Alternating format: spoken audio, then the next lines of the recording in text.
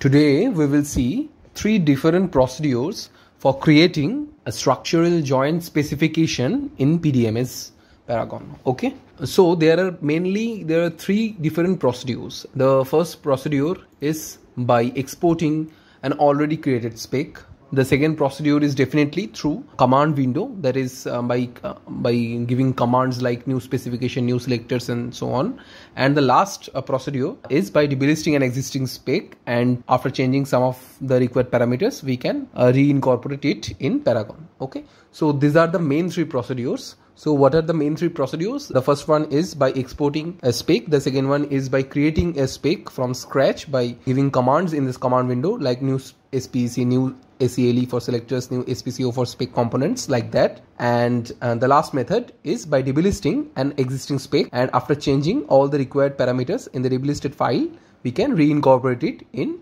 PDMS Paragon. Okay. So first of all, we will see the exporting procedure. Okay. So suppose this is the spec. This is the spec of the base plate and currently we will create a spec for our end section joint. Okay. So we will export this as specification first. Okay. So suppose for export uh, this specification, let me just change this name to something easier.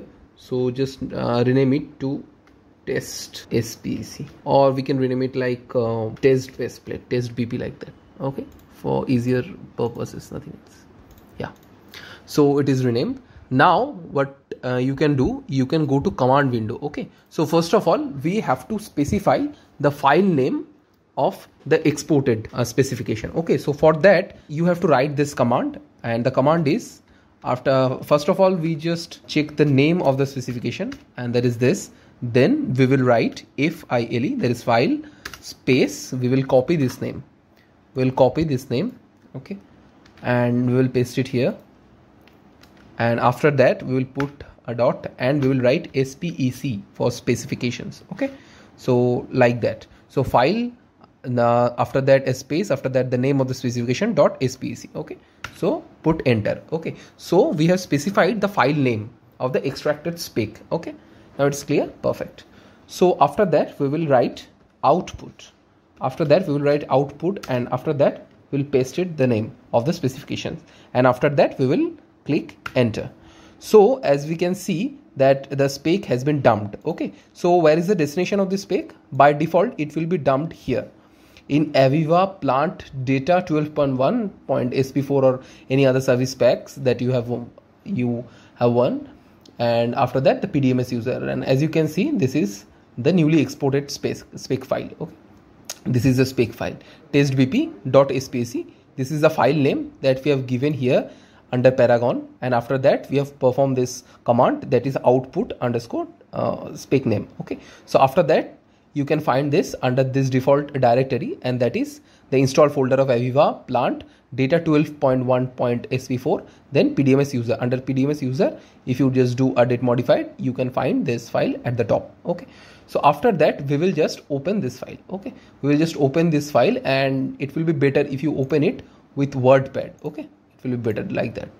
So uh, there are some issues just let, let me check. Just click open okay. This file is in use by some other things it is saying. Let's clear it for once. And okay okay. So this command is still active okay. So suppose we can make this inactive by just exporting it in a different file format like uh, file. Mm, we will copy this name again and we'll paste it here. And suppose we will export it in CSV now. So put CSV here and then output. And we will put like this. Okay. Now it is exported in CSV format as you can see. Okay. So now I think it will open.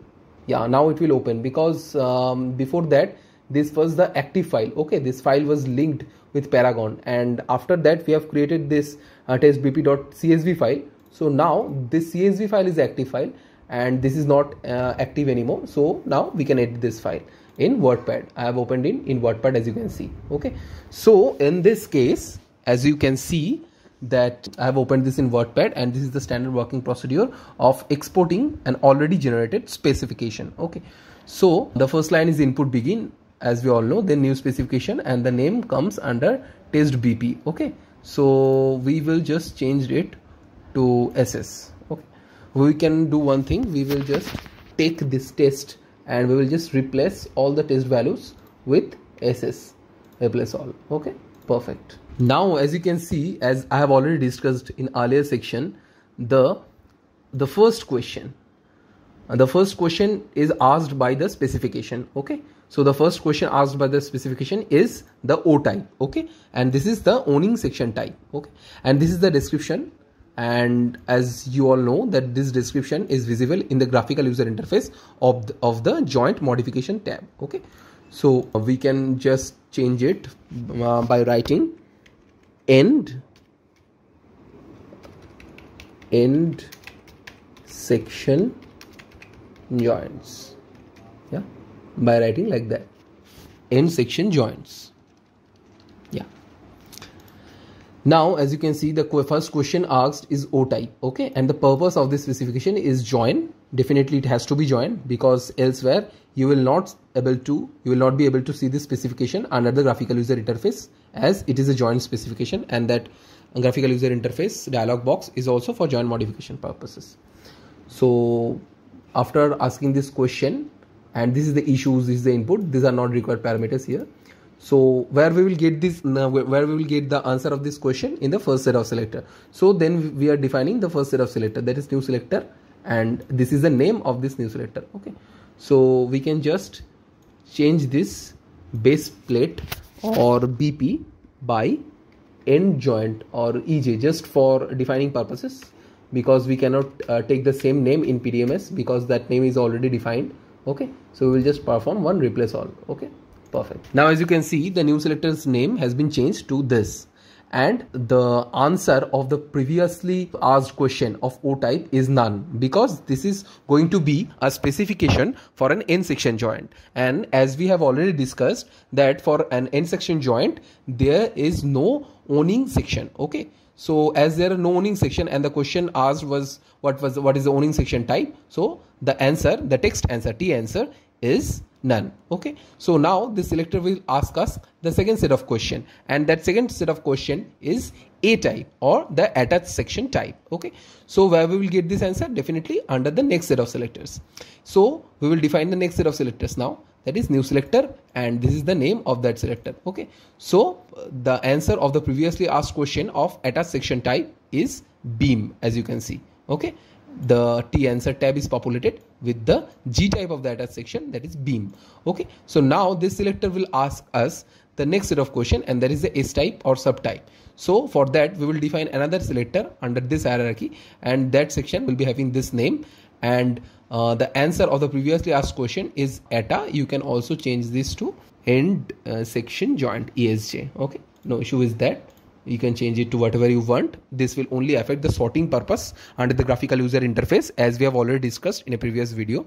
Okay so the last question asked was s type and the answer that we have got here is the t answer that is esj okay and the description of this subtype or s type we have already got that and that is as attached section. Okay so we can also change this to end plate or something like that. Okay end plate. Perfect so the description of the subtype is also changed to end plate. Okay. So now all those selectors have been defined by us. Okay. So now after that, we will define our first spec component that is the new SP uh, component okay? We, we will define our first spec component. That is the, that is a new sp component okay? So for this specification purpose we will just take one spec component uh, for easier understanding. So we will delete all the rest of these lines of spec components okay? So after this up to this end actually these are the spec component. Because see this is the new spec component and this is the name of the spec component and end. Okay. So this uh, command is ending here. After that this is the new spec component and this is the end. Okay. So like that. So if we delete this one two three four so we have to delete this four ends. Okay. So up to this end we have to delete. So after that we delete it. Okay. So now this component has been fulfilled the loop and after that this selector also has been fulfilled the loop. Okay. This selector has been fulfilled the loop. So the next uh, selector under this hierarchy under this hierarchy we can see that there are two selectors. One selector is this one and one selector is this one. So for our case we will just take one selector. So we will also delete this selector and all the spec components that will come under this selector. Okay. So we will just end and end. This will be our end. So one two three four five new components. So one two three four five ends to end this loop and one extra end for uh, ending the logic of this new selector. Okay so we will delete all these things. Now it is perfect for our new spec component and we are having currently only one selector. Okay so now we will define the category reference also. Okay category reference we will define. So for that case we will just take the category uh, one of the category reference like suppose we will take this uh, 20 mm base plate category that is already been created here. So we will just refer it here like that. The after the CATR we just copy it from here and we will paste it in this line okay? We'll paste it in this line like that okay? Now it is perfect. We have referred the category also? Yeah so after that we can delete all the rest of the unnecessary components and their category reference as we will not need them and we will be needing only one spec component and that is why we will need only one category reference. Okay. So we will delete all these things as these are all spec components nothing else. So we will delete this. Okay. So now the input will end here and the input will finish. These are the other two commands. Okay. So now we will just save it. And as you can see that this is the input begin line and this is the input end and finish line and there are new specification. So this is that end and as you can see that one selector two selector three selector. So one two and three ends and for a spec components one end. Okay. So there are five uh, loop creation and five ends. So you can see that our loop logic has been perfect here. So we will just save it here and now we will just copy this whole thing. Okay we will just copy this whole thing and just copy it and we will go to paragon. Okay paragon after that we will click this spec file just clear it here and we will paste this as macro. Okay so as you can see that this whole specification has been generated here. As you can see this whole specification has been generated here. Okay by defining each and everything all these things that we have already defined in this thing we have imported back here in paragon. Okay? So everything is perfect here. So we will just perform a small save work and we will go to design. Okay now? So in design we will do one save get work and one save work. So after that uh, first of all to create an intersection joint i have already say, said that first of all we have to turn our pnode creation on and after that we have to refer our sub framework for storing all the sections and we have to refer this sub framework for storing all the nodes. Okay so now all these things are referred. So now we can create the intersection joints and for that we'll go to modify joints and specification and we will click at this end of the joint okay? So as you can see this is here our newly created specification. That is the end section joint specification and the subtype of end plate and uh, you know that this subtype description comes from the last set of selectors. That is this one and this description has come to this dialog box. Okay. And this is our only spec components. As you can see we have created only one spec components and the catref is 20 mm underscore thick underscore attached. And as you can see in this dialog box the same catref has been referred. So in properties you can see only diameter of bolt you can vary here. So just uh, vary it for the sake of varying it and then click apply as you can see we have not uh, we have not changed this justification so we have to update the justification to neutral axis and after that if you apply it you can see that it has been positioned correctly at the correct location okay? So now we can dismiss it. So you can see that this is the standard method of creating new specification by exporting an old specification okay? You can do this also by delisting but in case of delisting there are a lot of errors that can come but in this method that i have described and that is by exporting an existing specification you can just create everything you want without any sort of error.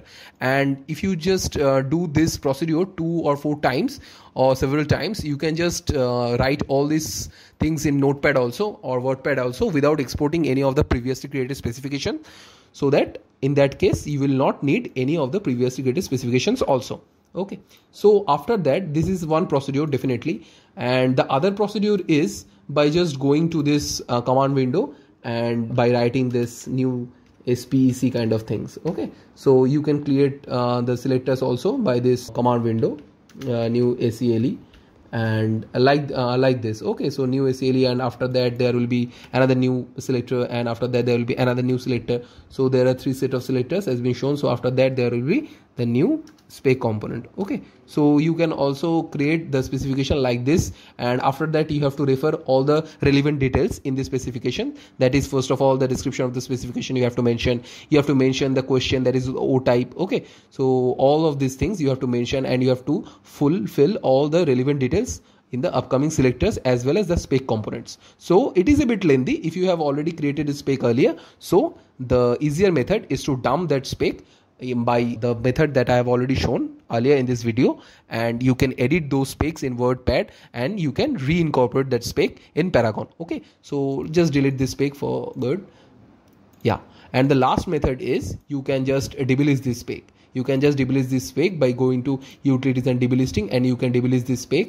And after that you can reincorporate this spec here in paragon. But the delisting procedure often comes with some errors that errors all of this all of those errors are definitely solvable but uh, that is a bit time consuming. So according to my opinion the procedure that i have described here that is uh, the dumping of an existing spec and after changing all the required parameters uh, reincorporating that same spec by changing its name and description and all the relevant parameters you can create a joint specification as uh, i have shown here. Okay so this video will end here and uh, i will just show one thing i will just show this uh, picture. Okay? So in this picture as you can see that we are looking uh, at this SBP1 currently. Okay this SBP1 so in the next video what we will do we will create intersection joint category of this SBP1 okay with all the parameters as, as design parameters. Okay with all the parameters and design parameters and we will see how we can create this category and after that we can refer it further in our specifications and in our specification components so that we can create it further and further on okay so in the next episode we will create a category for the end section joints. Okay so uh, for this section now bye. Okay thank you